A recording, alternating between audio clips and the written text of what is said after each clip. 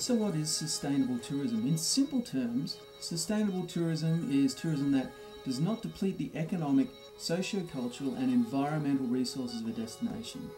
The ultimate goal really is to provide high quality experiences for visitors, strengthen host communities and cultures, and develop tourism related livelihoods while preserving and even improving the surrounding environments in which tourism is taking place. So there's three pillars to sustainable tourism, just like the well-known triple bottom line in businesses. We are concerned in sustainable tourism about the environment. Tourism should be environmentally sustainable. It shouldn't impact on the natural environment, or even better, it should directly contribute to its conservation.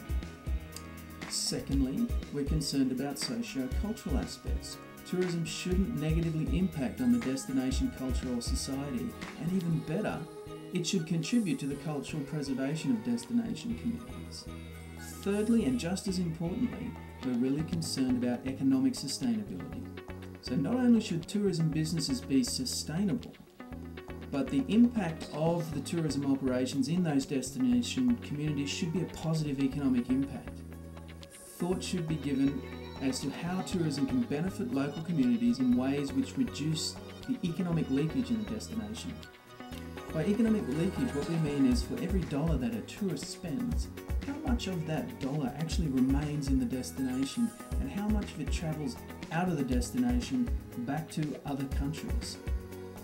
For example, in the country of Fiji, uh, economic leakage has been reported as high as 65%, meaning that for every dollar that gets spent in that country, 35% of that is all that remains.